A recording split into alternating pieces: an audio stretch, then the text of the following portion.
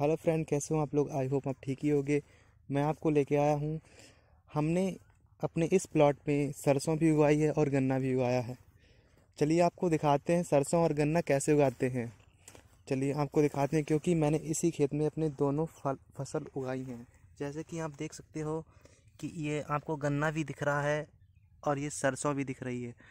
जैसे कि आप सब जानते हो कि हम एक ही फ़सल, एक ही खेत में दो दो फ़सलें ले सकते हैं। हम, मैं आपको बता देने जा रहा हूँ कि इस समय सरसों में फ्लावरिंग हो चुकी है।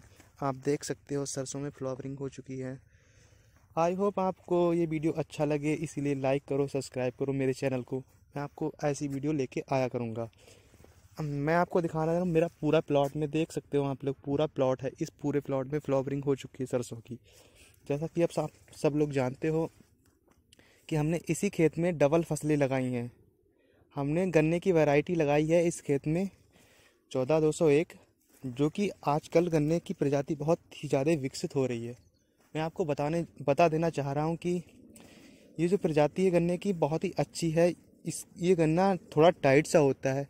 ये गन्ना टाइट सा होता है इसलिए हमारे, देख सकते हो आप, हमारे खेत के पास भी जंगल है।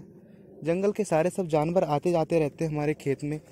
इसलिए गन्ना थोड़ा टाइट होता है।